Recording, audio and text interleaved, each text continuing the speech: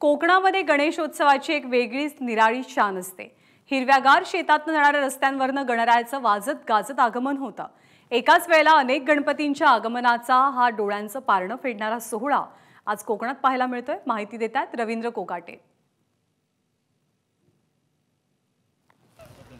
कोकणामध्ये गणेश उत्सवाला आजपासून सुरुवात झालेली आहे. आपण सध्या आहोत चिपळूणमधल्या सावर्डे डेरवणी या गावी आहोत. ही बघतोय आपण दृश्य. पारंपरिक पद्धतीने कोकणात डोक्यावरती गणपती आणला जातो. हीच परंपरा कोकणकरांनी आजवरही जपून ठेवलेली आहे. जिल्ह्याचा जर आढावा घेतला तर जिल्ह्यात आज एक लाख सहासष्ट हजार घरगुती तर एकशे चौदा गणपती सार्वजनिक गणेश उत्सव मंडळात प्रतिस्थापना होणार आहेत. आपल्यासोबत याच गणेश उत्सवासाठी चाकरमणी आलेले आहेत कोकणामध्ये. त्यांच्याकडून अधिक माहिती जाणून घेऊया. काय सांगशील? कशा प्रकारचा यंदाचा गणेश उत्सव आहे? यंदाचा गणेश उत्सव एकदम जोशात आहे. आणि जोशात साजरा करणार कारण दोन वर्ष करोनामध्ये गेलेले आहेत. जास्त आनंद लुटता आला नाही आम्हाला. त्यामुळे ह्या वर्षी आम्ही इतका आनंद घेणार आहे तर काय भरपूरच. आपल्यासोबत अजूनही चाकरमणी आलेले आहेत. दादा काय सांगाल?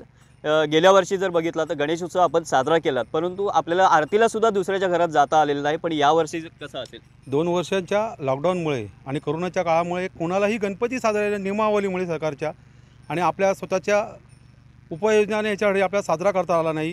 ह्यावर्षी आम्ही दरवर्षीप्रमाणे गेल्या जसं आपण पारंपरिक साजरा करतो त्यामुळे यावर्षी जोशात आरतीलाही आम्हाला कोणत्या घरी जाता येत नव्हतं त्या कोरोनाच्या काळामुळे.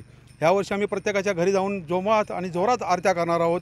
भजनं आणि आमच्या दरवर्षी जसं आमचा गणपती साजरा होतो त्यामुळे साजरा करण्याचा आनंद आम्हाला सर्व मुंबईकरांनी सर्व गावकऱ्यांना दुप्पट आणि तिप्पट दृष्टीने आमच्याकडे जोश आहे.